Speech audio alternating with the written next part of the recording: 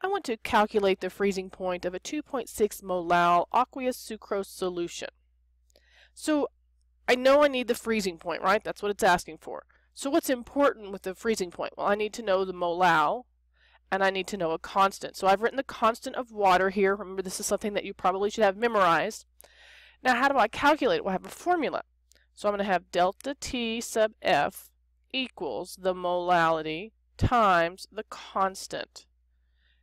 Well, like we said, we have the molality, so that's 2.6 molality times the constant, which is 1.86 degrees C over the molality. Now, why did I write it that way? Because I want to make sure that my units are going to cancel, because if they don't cancel, then I know that I don't have the correct uh, constant. So I have degree C, which I know is a change in temperature. When I multiply these two together, I get 4.836 degrees C. Well, now that's the change, but it asks for the actual freezing point. So when does water freeze in degrees Celsius? It's at 0 degrees. Now I write these vertically because I think it's easier to see the subtraction and to find your final um, significant figure. That's entirely up to you.